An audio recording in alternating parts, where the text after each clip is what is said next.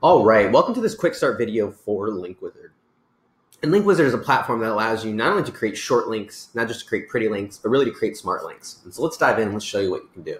So when you log in, go and click up here in the dashboard and ask you to log in. Once you're in here, you, what you'll initially see is you'll see all of your uh, links that you've created. And what's great about them is you can search for them, um, make sure that you are searching for the exact link that you want. But the best thing to do is to use the tag system and it'll allow you to be able to organize them. You'll notice that if we want our links that are just for our clients, uh, we can sort by that tag and it'll allow us to see those as well.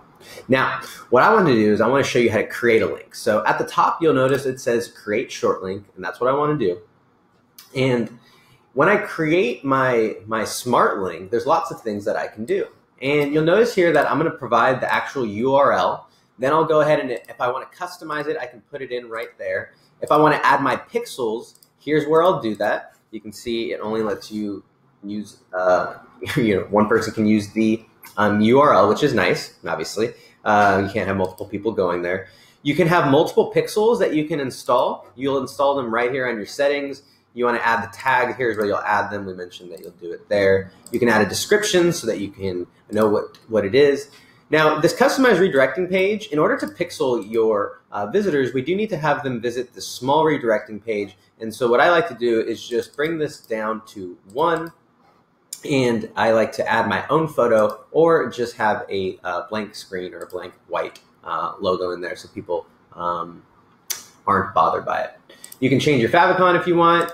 Now, your link preview is really what's exciting. And when you're posting links to Google Docs or when you're posting links to other places or other links, you can't really control uh, the SEO or the metadata. But what's great about it here is when you post that link on Facebook or when you post that link wherever it is that you want to post your link, if it shows a preview, it'll actually pull your custom preview. So you can use a custom image, you can use a custom title and description.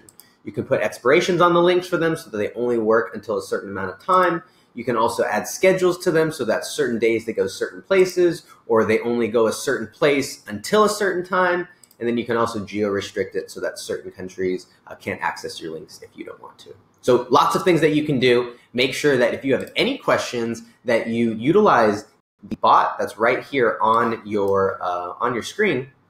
Okay, there will be a, a bot that comes up. Uh, I don't know where he went, but you saw him probably a few seconds ago. So you can just uh, ask any questions to that bot and